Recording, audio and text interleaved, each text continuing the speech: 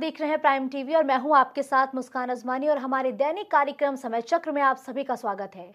हमारी इस खास पेशकश में आज हमारे साथ स्टूडियो में मौजूद है ज्योतिष पंडित रविशंकर जी। रविशंकर जी प्राइम टीवी पर पहले तो मैं आपका बहुत बहुत स्वागत करूँगी। जी बहुत बहुत धन्यवाद आपका। देखिए पंडित जी आज है शनिवार का दिन और सबसे पहले हम आपसे जानना चाहेंगे कि आखिर आज का पंचांग क्या है? ओम शम शनिचराय नमः ओम शम शनिचराय नमः ओम शम शनिचराय नमः। ओम शम शनिचराय नमः। ओम शम शनिचराय नमः।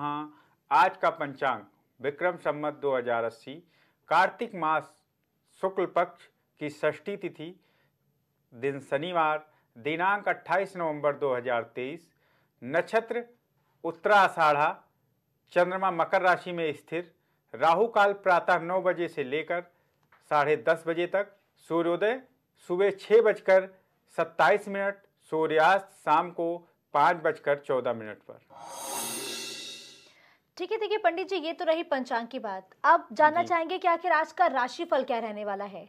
सबसे पहले हम आपसे जानना चाहेंगे मेष वृषभ और मिथुन राशि वालों के लिए आज का दिन कैसा रहने वाला है? मेष राशि वालों के लिए कार्य क्षेत्र में चिंता रहेगी। कानूनी मामलों में परेशानी संभव है। व्यापार में उत्तम लाभ होगा।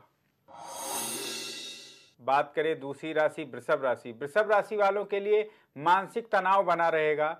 आर्थिक क्षेत्र में सावधानी बरतें। साथ ही व्यवसाय में लाभ होगा। वाहन से परेशानी हो सकती है। तो अगर आप कहीं यात्रा कर रहे हैं तो वाहन सावधानी से चलाएँ। तीसरी राशि, मिथुन राशि। मिथुन राशि वालों के लिए कार्य क्षेत्र में व्यस्त रहेंगे। आपको नया आय का स्रोत बन सकता है आज के दिन में। साथ ही व्यवसायिक लाभ उत्तम रहेगा उसके साथ ही आपका मन प्रसन्न रहेगा। ठीक है पंडित जी कर्क सिंह और कन्या राशि वालों के लिए आज का दिन कैसा बीतेगा? देखिए चौथी राशि कर्क राशि। कर्क राशि वालों के लिए राजनीतिक क्षेत्र में सम्मान बढ़ेगा कोर्ट कचहरी में विजय प्राप्त होगा। साथ ही आपको व्यवसाय में भी विशेष लाभ होने वाला है। पांचवी राशि की बात करें तो सिंह राशि। सिंह राशि वालों के लिए धैर्य बनाए रखें, कार्य क्षेत्र में विलंब हो सकता है। मन बहुत अशांत रहेगा तो कोशिश करें कि मन को शांत रखें, साथ ही नौकरी में सम्मान का योग रहेगा और आपको यात्रा से विशेष लाभ होगा। छठी राशि बात करें, कन्या राशि। कन्या राशि वालों के लिए संपत्ति के मामलों में परेशानी होगी, व्यवसाय में कम लाभ होगा, आपको सेहत नरम रहेगी, साथ ही आपको क्रोध पर नियंत्रण रखना होगा। अगली राशि की बात करें, तुला राशि। तुला राशि वालों के लिए राजनीतिक संबंध अनुकूल रहेंगे, साथ ही नौकरी में आपका वर्चस्व बढ़ेगा। साथ ही नई कोई अगर कार्य योजना करना चाह रहे हैं तो आपके लिए अच्छा रहेगा। व्यवसाय में विस्तार के भी योग बन रहे हैं। ठीक है पंडित जी अब बाकी जो तीन राशियाँ हैं जो। अब उनके बारे में जानना चाहेंगे कि वृश्चिक धनु और मकर राशि वालों के दिन आज जो है वो कैसे बीतेंगे? वृश्चिक राशि आठवीं राशि वृश्चिक राशि। वृश्चिक राशि वालों के लिए नौकरी पेशा जातक का कार्य बढ़ेगा, साथ ही अगर आप व्यापार कर रहे हैं तो उसमें लाभ होगा। आपको शिक्षा से संबंधित आपके लिए आज का दिन अच्छा रहेगा, साथ ही आपको व्यवसाय से भी लाभ हो सकता है। आपकी अगली राशि धनु राशि। धनु राशि वालों के लिए नौकरी में आप प्रतिष्ठा बनी रहेगी आपकी। व्यवसाय में उत्तम लाभ होगा। शुभ कार्य आपके हाथों आज हो सकते हैं, साथ ही आपको सकारात्मक सोच रखना होगा। आपकी अगली राशि की बात करें मकर राशि। मकर राशि वालों के लिए अपने वाणी पर क्रोध रख, पर नियंत्रण रखना होगा। साथ ही आपको इससे विशेष बचना होगा। आपको आर्थिक स्थिति में नुकसान हो सकता है तो उसका विशेष ध्यान आपको रखना होगा। और आगे का जो आपका आज का दिन है वो थोड़ा सावधानी से रहें। अगली राशि आपकी कुंभ राशि। कुंभ राशि वालों के लिए लोकप्रियता बढ़ेगी। साथ ही नौकरी में आपको उन्नति के योग बन रहे हैं। साथ ही आज आपको वाहन या हड्डियों से अगर आपको दिक्कत रहती है तो सावधान रहना होगा। लास्ट और अंतिम राशि, मीन राशि। मीन राशि वालों के लिए सकारात्मक सोच बनाए रखें। नौकरी में आपका दबदबा बना रहेगा। व्यवसाय में आपको उत्तम लाभ के योग हैं और परिवार में शांति बनी रहेगी, खुशहाल रहेगा। और आपका आज का दिन अच्छा बीतेगा। ठीक है, देखिए, पंडित जी, ये तो रही राशियों की बात। अब तमाम सवाल भी हमारे दर्शक लगातार मेल के ज़रिए हमको भेज रहे हैं। अब रुक करते हैं सवाल जवाबों के दौर की ओर। देखिए, पंडित जी, आज का दिन है शनिवार और शनिवार का दिन जो है वो भगवान शनिदेव को पूरी तरीके से समर्पित होता है।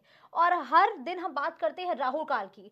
तो राहु काल से जुड़ा हुआ एक सवाल मेरे पास अभी मेल के ज़रिए आया कि ये जो लगातार हम हर दिन राहु काल बताते हैं, क्या ये राहु काल हर दिन बदलता है क्या? और क्या क्षेत्र के मुताबिक भी राहु काल का समय बदलता है?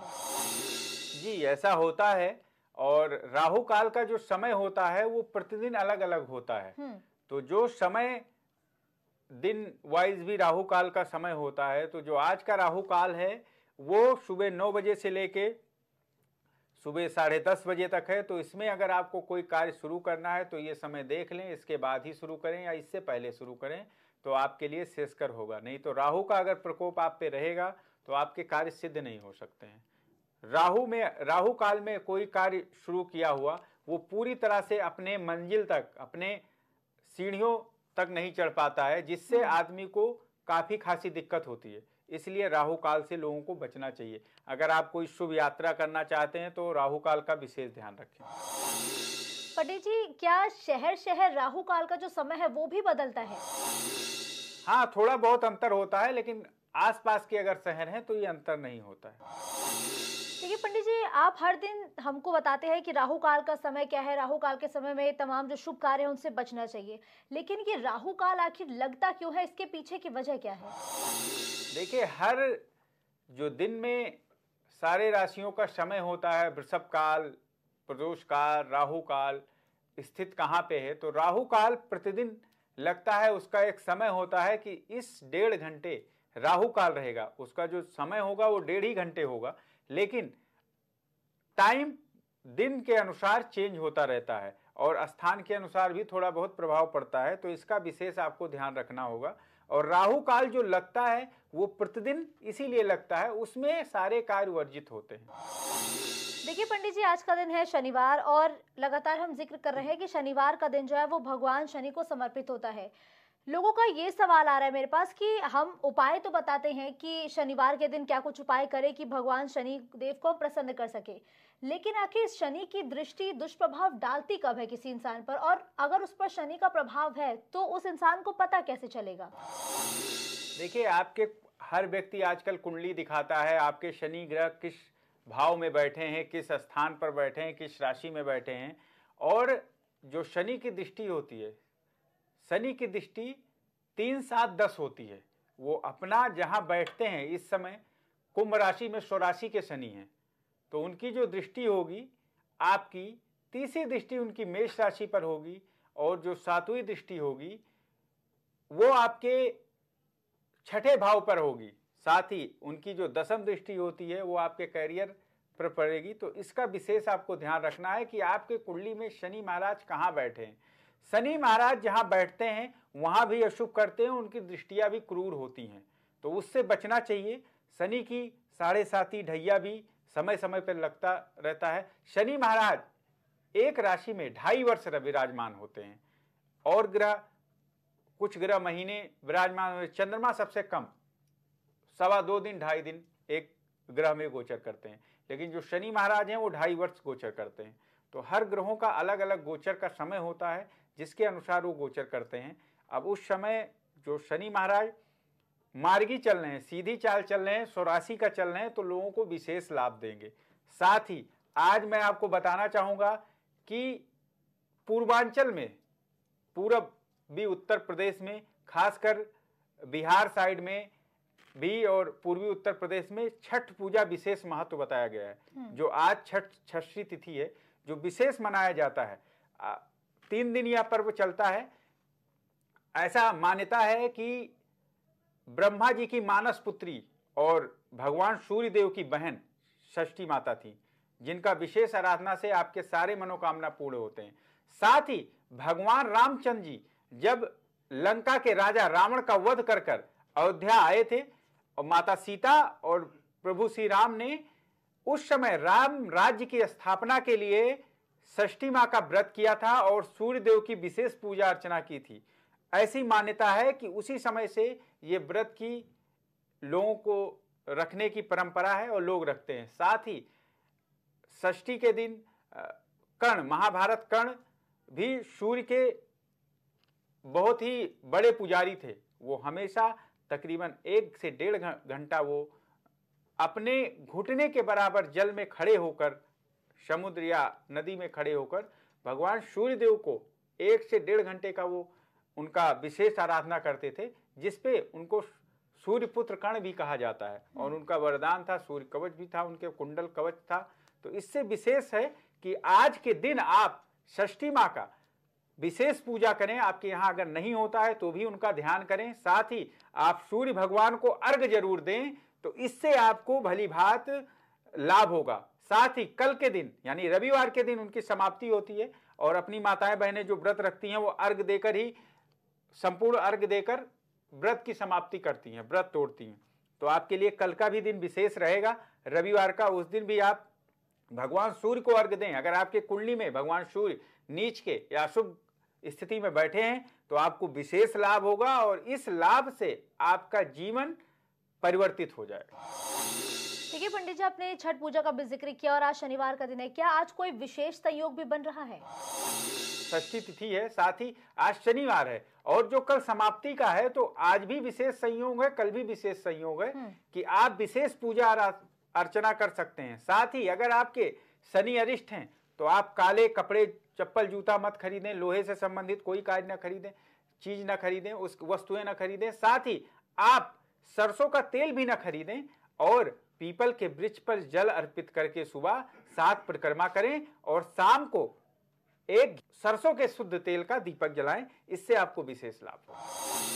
ठीक है देखिए पंडित जी आज का हम लगातार ज़िक्र कर रहे हैं। एक और सवाल मेल के ज़रिए मेरे पास ये आया है कि शनि का दुष्प्रभाव तो अक्सर देखने को मिलता है कि काम नहीं हो पाते हैं लेकिन क्या इंसान के व्यवहार में परिवर्तन को देखकर भी शनि का प्रभाव है ये पता लगाया जा सकता है? देखिए शनि महाराज जो होते हैं वो न्याय के देवता हैं। हम्म। अगर आप अपने जीवन में न्याय पे, सही रास्ते पे चल रहे हैं। शनि महाराज कितने भी अशुभ आपके कुंडली में है, वो हमेशा आपको विशेष लाभ देंगे और सही रास्ता दिखाएँगे, सही मार्ग दिखाएँगे।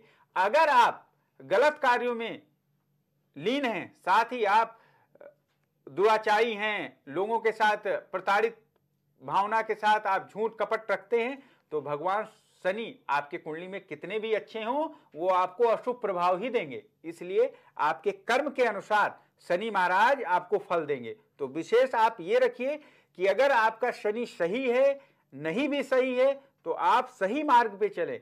सही रास्ते पे चलेंगे तो शनि महाराज आपको विशेष फल देंगे। और शनि महाराज, अगर आप पे उनकी कृपा हो गई तो आप फिर रंग से राजा भी बन सकते हैं। और अगर उनकी क्रूर दृष्टि पड़ गई, आप उनके विपरीत चल रहे हैं, आप झूठ बोल रहे हैं, कपट कर रहे हैं, छल कर रहे हैं तो वो आपसे, आपको राजा से रंग भी बना सकते हैं।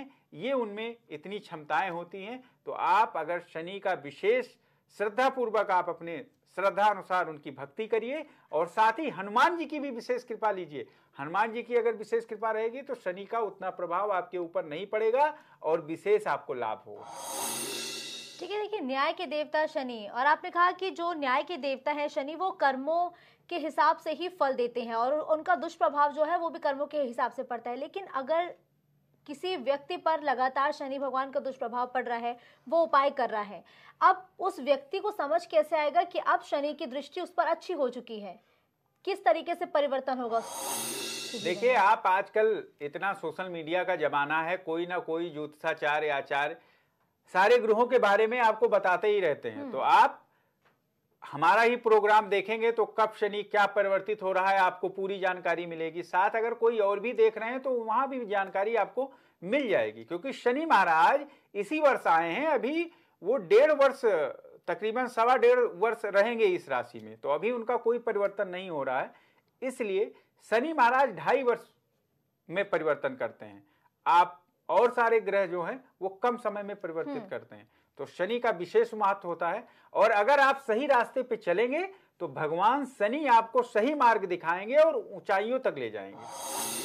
ठीक है पंडित जी देखिए भगवान शनि किस राशि के लिए सबसे ज़्यादा अक्सर देखा गया है कि अनुकूल साबित होते हैं? भगवान शनिदेव को कौन सी राशि ज़्यादा भाती है? देखिए उनको तो जैसे आप देख सकते हैं अपने स्वराशि कुंभ राशि मकर राशि मकर राशि कुंभ राशि के अगर आप जातक हैं तो शनि की आराधना ज़रूर करिए। हम्म। साथ ही अगर आप मंगल और मेष और वृश्चिक राशि के हैं तो आपको विशेष सावधानी बरतना चाहिए और शनि की हमेशा कृपा लेनी चाहिए क्योंकि वृश्चिक और मेष और वृश्चिक राशि जो है वो चोट चपेट अगर अशुभ ग्रह मंगल भी है तो शनि की भाई अगर आपके ऊपर प्रकोप पड़ रहा है तो ज़्यादा दिक्कत होगी। इसलिए आप मंगल और शनि दोनों का उपाय करेंगे तो आपके जीवन में किसी प्रकार की दिक्कत नहीं आएगी। बिल्कुल, देखिए पंडित जी, लगातार ये तो सवाल जवाब का दौर चल रहा था, लेकिन आज का विशेष क्या है? देखिए, आज का विशेष मैं वही आपको बताया। एक तो विशेष ये है कि आप, अगर शनि आपके कुंडली में, नीच का या अशुभ का है तो आप काले वस्त्रों का दान करें। खासकर उस दिन ना खरीदें, एक दिन पहले खरीद के रख लें। लोहे से संबंधित कोई सामान ना खरीदें। सरसों का तेल तो बिलकदार मत खरीदें, क्योंकि उससे शनि महाराज अरिष्ट होते हैं। और अगर आप पीपल के वृक्ष के अलावा शनि मंदिर जा रहे हैं तो शनि भगवान के मुख पर ना देखें। आप उनकी, आपकी जो दृष्टि हो, उनकी पैरों पर होना चाहिए, क्योंकि शनि की जो क्रूर दृष्टि होती है, वो अच्छी नहीं होती है। इसलिए आप इसकी इसका विशेष ध्यान रखें और आप शनिवार के दिन कोई नुकीली चीज़ मत खरीदें। नहीं तो आपको शनि की अनिष्टकारक दृष्टियों से आपको दिक्कत हो सकती है जिससे आपके जीवन में सफलता नहीं मिल पाएगी। तो आप ये चीज़ें ध्यान रखें कि आपको शनि का विशेष उपाय करना है साथ ही काले चप्पल जूते कपड़े ऐसे चीज़ें शनिवार को ना लें। खासकर चप्पल तो बिल्कुल ना पहने क्योंकि उसमें शनि का वास होता है तो काला चप्पल अगर शनिवार के दिन नहीं पहनेंगे तो ज़्यादा अच्छा रहेगा। ठीक है देखिए पंडित जी एक और सवाल आया है मेरे पास वो भी मैं आपसे जानना चाहूँगी। यूँ तो कहा जाता है कि भगवान की पूजा करने का कोई समय नहीं होता है। जब हमारे मन में आस्था जाएगी हम किसी भी स्थान पर वो पूजा अर्चना कर सकते हैं। लेकिन चूँकि आज शनिवार का दिन है तो क्या भगवान शनि की पूजा अर्चना करने के लिए कोई एक विशेष समय निर्धारित होता है क्या कि हमें कब उन्हें जल चढ़ाना चाहिए? देखिए शनि ग्रह जो होते हैं रात्रिचर होते हैं। हम्म। तो आप कोशिश करें अगर सूर्य उदय के पहले अगर उनकी पूजा कर लें तो ज़्यादा विशेष रहेगा। अगर किसी कारणवश नहीं कर सकते हैं तो जल आपको सुबह ही चढ़ा सकते हैं। शाम को भी सूर्यास्त के बाद भी आप जल चढ़ा के और उनका परिक्रमा करके और विशेष पूजा कर सकते हैं। देखिए शनि ग्रह जो है रात्रिचर है इसलिए शनि देवता की रात्र में ही पूजा होती है। दिन ढलने के बाद ही पूजा होती है तो विशेष आराधना कोशिश करें कि शाम को दिन सूर्यास्त के बाद ही आप उनकी आराधना करें तो विशेष कर रहेगा। यानी कि अगर हम भगवान शनिदेव की पूजा ब्रह्म मुहूर्त में करते हैं तो भी हमें फल मिलता है। बहुत अच्छा फल मिलेगा, क्योंकि उस समय सूर्य, सूर्योदय नहीं होता है और ब्रह्म मुहूर्त में आपको विशेष लाभ होगा। तो आप उस समय आपको ब्रह्म मुहूर्त में तो शुभ होता है, अगर आप ब्रह्म मुहूर्त में उठते हैं, पूजा करते हैं, पाठ करते हैं तो सीधा प्रभु को मिलता है। यहाँ तक ये भी कहा गया है, कथा में कई वर्णन है कि नौ बजे के बाद अगर आपको सूर्य को जल देते हैं तो उनको नहीं मिलता है, वो दैत्यों को मिलता है। साथ ही आप नौ बजे, दस बजे के बाद अगर कोई पूजा करते हैं तो प्रभु को नहीं मिलता है। तो आप कोशिश करिए, ब्रह्म मुहूर्त में उठिए और आप सुबह जितना जल्दी पूजा स्नान करेंगे, उतना आपका जो दिमाग मस्तिष्क होगा, वो सात्विक रहेगा और आप लोगों के बारे, अपने के अपने के साथ साथ दूसरों के बारे में भी भलाई के योग्य रहेंगे और सोच रखेंगे अपना। बिल्कुल ठीक है, धन्यवाद पंडित जी हमारे इस खास कार्यक्रम में हमारे साथ जुड़ने के लिए। तो ये थे हमारे साथ ज्योतिष पंडित रविशंकर जी, जिन्होंने बताया कि आज क्या कहती है ग्रहों की चाल और साथ ही बताया हर एक समस्याओं का समाधान। कल फिर आपसे मुलाकात होगी। तमाम आपके सवालों के साथ ही हम ये जानने का प्रयास करेंगे कि आखिर ग्रहों की चाल क्या कुछ कहती है। खबरों का सिलसिला यूँ ही जारी रहेगा देश और दुनिया की तमाम बड़ी खबरों के लिए आप देखते रहिए प्राइम टीवी। नमस्कार।